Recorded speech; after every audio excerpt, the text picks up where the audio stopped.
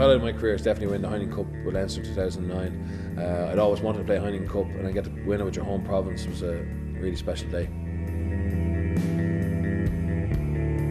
In professional rugby, you're very institutionalised.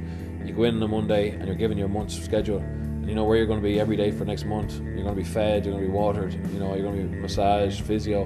You know, it's a great life, and you get to play with some of the best players in the world. And I'm so lucky I got the opportunity to do that.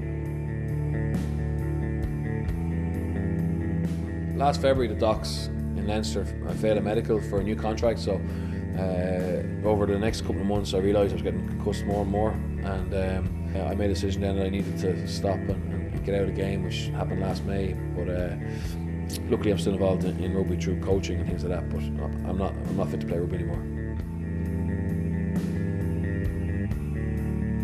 I'm doing the masters here in, in UCD with John Fogarty and Ronnie McCormack, who've just retired and, uh, from professional rugby due to injury. But they they both had great careers. You know, they they both played professionally for 10, 12 years.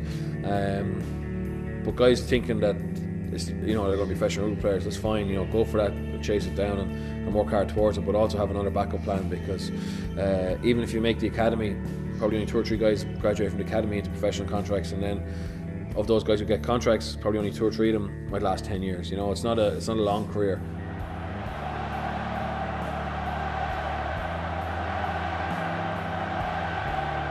I missed the, the derby matches, the, you know, the rivalry and the intensity of that, and uh, particularly around Christmas when there's huge crowds. And um, I missed the banter in the dressing room. But listen, you got to move on. You know, I've got to try and bring the same application to the next stage of my life that I did to being a professional player, and that's why I'm doing this course in UCD is to is to upskill in, in as many ways as I can.